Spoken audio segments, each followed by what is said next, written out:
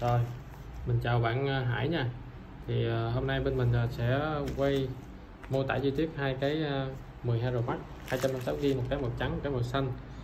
Cái màu trắng đây, thông số của nó là zin nguyên bản 99%, đẹp 99%, à, pin sạc 541 lần, pin 86%, pin pin gốc còn 86% nha. Đó, cái này là do bám cái vân tay vào nha. Đó, cái màu trắng thì nó có những cái ờ, chấm chấm nhẹ như thế này theo thời gian thôi. Dùng rồi nó ấy thôi nhưng mà cái cái cái màu trắng nó có lợi thế hơn là dùng nó lâu xuống lâu cũ hơn cái màu khác nha.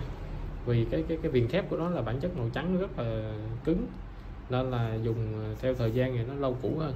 Màu trắng thì cái này được uh, có thể tận dụng cái pin uh, gốc của nó xài khoảng tầm 6 tháng đến một năm thì quay về shop để thay cũng được thì cái này có thể à, tận dụng được cái pin gốc luôn này.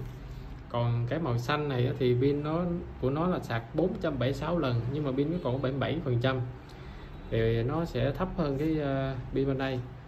Mà số lần sạc thì nó vẫn là cũng còn thấp nhưng mà không không biết lý do gì mà nó còn 77 phần trăm. Có thể là khách trước đây dùng để chơi game hoặc là à, dùng nhiều quá. Nó à, dẫn tới là nó bị giảm cái cái cái phần trăm nhiều hơn so với cái màu trắng kia đó thì màu xanh này thì nó có một cái lợi thế là cái màu của nó bóng và hợp với ờ, phong thủy của một số ờ, khách hàng.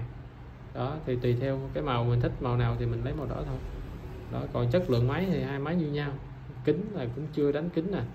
Thì vỏ là vỏ zin nè cam zin màng zin tất cả zin nguyên bản luôn.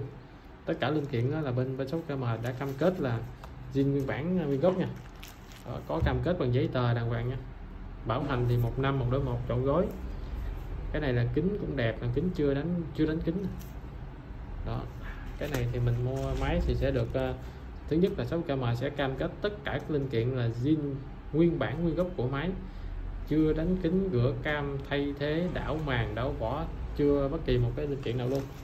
Hàng này thì nó không có số lượng nhiều nha. Ờ, màu xanh và màu trắng thì hai cái này thì ờ, nếu là mình là mình sẽ thiên về màu trắng hơn.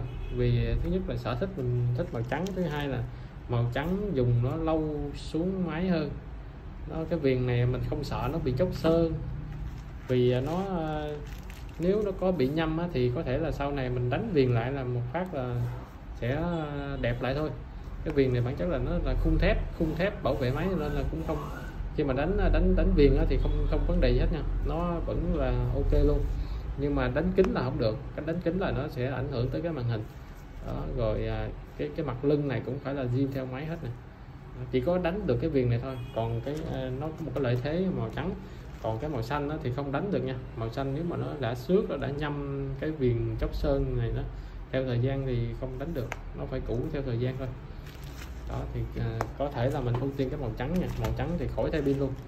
Sẽ được cái pin gốc của máy là 86 541 lần sạc.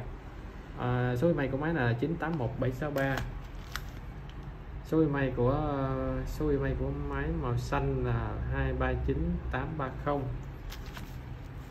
rồi hai máy này là có giấy bảo hành một năm một đối một cam kết không riêng tặng máy.